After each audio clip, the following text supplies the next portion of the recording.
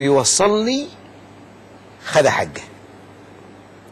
أكو مواطن ممن انكسرت سيارته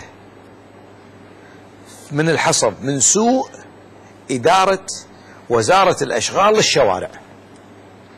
بعد صح وهم اللي يسوون الشوارع هم المسؤولين عنها. طبعا. أكو واحد من المواطنين أخذ حقه. طيب ما أعطيته حقه. ما تقول له من المتسبب؟ وتحاسبه. وتحاسبه.